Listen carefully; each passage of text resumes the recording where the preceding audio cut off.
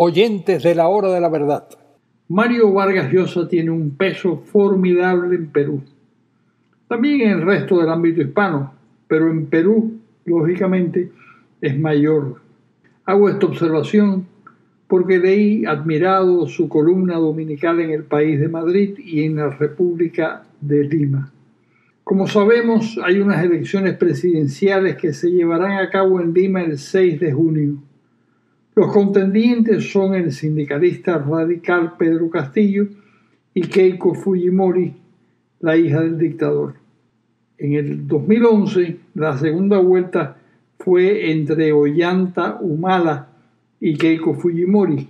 Recuerdo que estábamos en un congreso liberal cuando Mario anunció que votaría por Humala.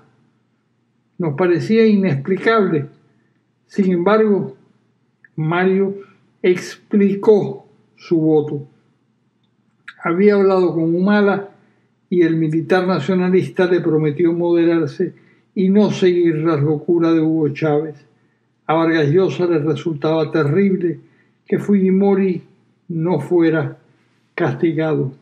Ganó Humala 51% a 48%.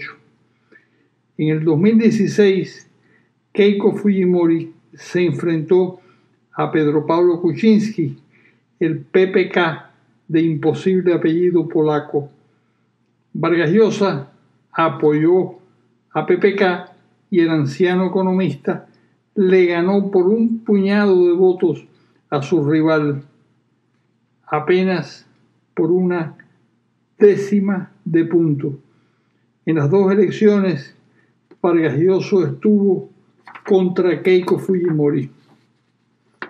Pero en el caso de Pedro Castillo y de su socialismo del siglo XXI, apoya a Keiko.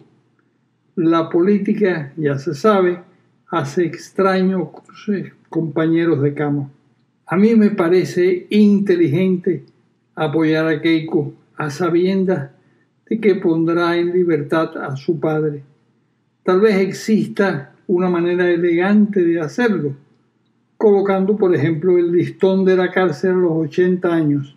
En ese momento, todos los ancianos que están presos pasan a arresto domiciliario. Total, los ancianos son o somos inofensivos. Les habló Carlos Alberto Montaner para la hora de la verdad.